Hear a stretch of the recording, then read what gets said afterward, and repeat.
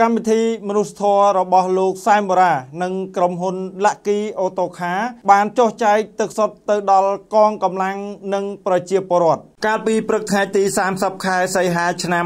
2022នេះលោកសែមបារានិងសហការី TNM បាននាំនៅអំណោយចែកជូនដល់បងប្អូនតាមគោលដៅនានាក្នុងរាជធានីភ្នំពេញនិងប្រជាពលរដ្ឋសន្តិសុខលោកសែមបារាបានបញ្ជាក់ថាទឹកដែលបានចែកចាយនោះមានចំនួនប្រមាណជិត500កេសនេះមិនមែនជាលើកទី1ទេ ដែលលោកចែកជូនជាកម្មវិធីមនុស្សធម៌បែបនេះហើយលោកសែមបារាក៏សូមអរគុណចំពោះទឹកចិត្តអ្នកដែលបានឧបត្ថម្ភមកលើរូបលោកផងដែរដែលយកទៅចែកចាយបន្តបែបនេះ ជាចុងក្រោយលោកសែមបារាក៏សូមអរគុណលោកសវិនដែលជាអគ្គនាយកក្រុមហ៊ុនអូតូខានិងជាដៃគូពិសេសជាមួយទូរទស្សន៍អនឡាញ TNM ដែលជានិច្ចកាលលោកតែងតែជួយដល់សង្គមនិងកងកម្លាំងនានាដូចនេះលោកបានបន្តទៀតថា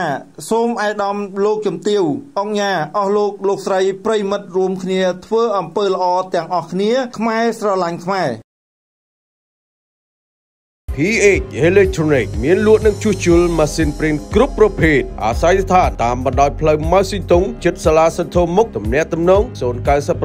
34 56 31